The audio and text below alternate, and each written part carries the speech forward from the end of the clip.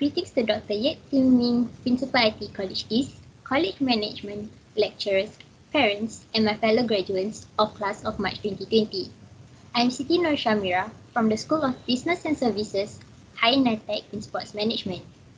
I'm honored to be given this opportunity to deliver the valedictorian speech on behalf of the class of March 2020.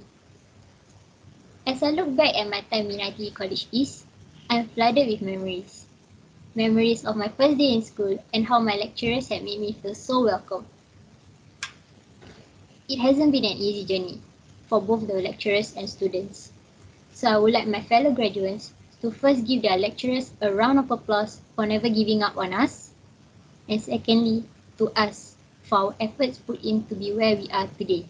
We have finally made it. I know that this is not how we imagine our graduation celebration to be. No one would have imagined that our living room would become our graduation hall, our home clothes would become our gown, and meeting all of you through this video instead of giving each other a hug or congratulation handshake. But it's okay. For what is important is that we have succeeded and we have made it. We have graduated. We would not have done it by ourselves. So to all our parents and family members who have stood by us, thank you. Thank you very much for your love and giving us space when we needed them. I would like to take this opportunity to thank my parents for making sacrifices and their unwavering support to get me to where I am today.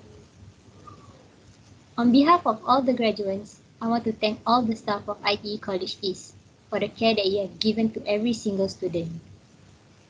Your patience in guiding us, imparting valuable skills to preparing us for the workplace and for our academic progression.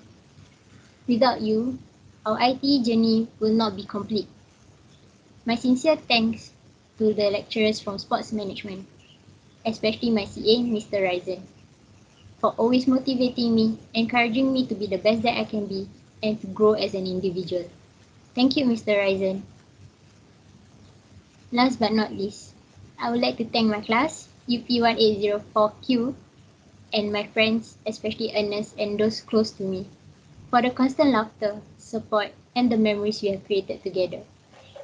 You guys have been very awesome and were the motivation for me to come to school every day. Truly the best and I will never trade it for anything else.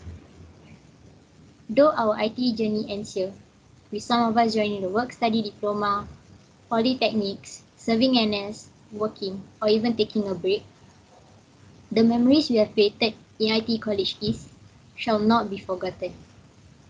And no matter what's the journey ahead, IT will always remain a huge part of us, as this is the place that gave us opportunities to learn and grow the place where strangers became friends and families, the place where our frowns became laughter. This is the place where I fell in love too. With the ayam penyet of Cafe One. As we continue our life journey, IT will always have a special place in our hearts. Do stay safe until we meet again. Here's to us, the class of March 2020. Congratulations, we have done it!